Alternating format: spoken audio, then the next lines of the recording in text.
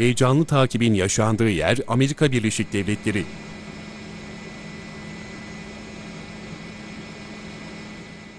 Oklahoma City yakınlarında polis çalıntı olduğu bildirilen bir kamyonet tespit etti. Ardından saatler süren bir kovalamaca başladı. Kamyoneti kullanan kişi birçok kez polisleri atlatmayı başardı.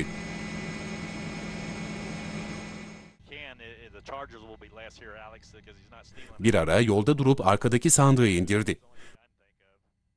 Peşindeki polis de araçtan inip silahını çekti ama sürücü yine kurtulmayı başardı.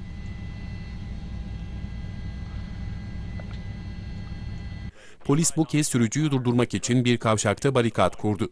Tam durdu derken yolun toprak kısmına çıkıp yeniden hızlanarak kaçtı.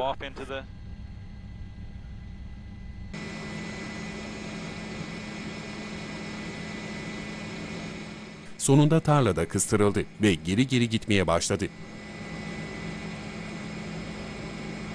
Küçük bir gölete girdi. Bu sefer de inip yaya olarak kaçmayı denedi.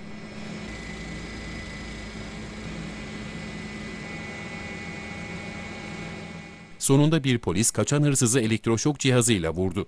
Ve polisler 3 saat boyunca kendilerini peşinden koşturan adamı kelepçeleyip götürdü.